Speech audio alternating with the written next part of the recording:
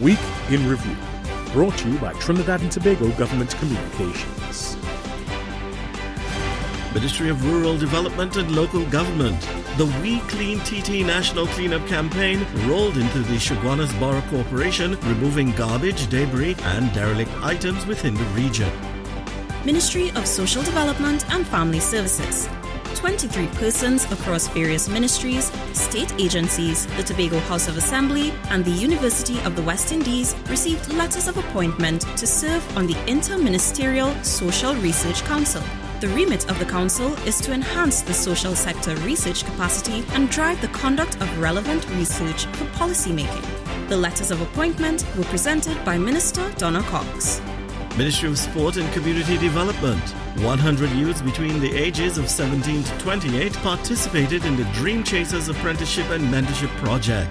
This initiative was developed so that the youth of TNT can explore the world of work, plan career paths, hone entrepreneurial skills, examine strategies for growth in their communities, and promote personal and professional development toward overall national advancement. In addition, Trinidad and Tobago will host the American Zone Group 4 of the International Tennis Tournament from July 30th to August 6th. This is a collaborative effort between the Ministry, the Sport Company of TNT, the Tennis Association of TNT, and Davis Cup 2022.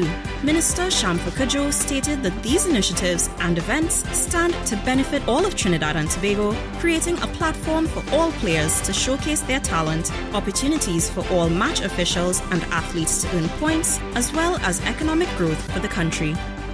Ministry of Works and Transport Motorists and members of the Morvant Laventille, San Juan Barataria communities and environs can now enjoy improved movement and drainage systems as well as new sidewalks for pedestrian safety as the upgrade of the Morvant to Maritime Roundabout has finally been completed. These upgrades were executed under the technical guidance of the Program for Upgrading Roads Efficiency. In Review, brought to you by Trinidad and Tobago Government Communications.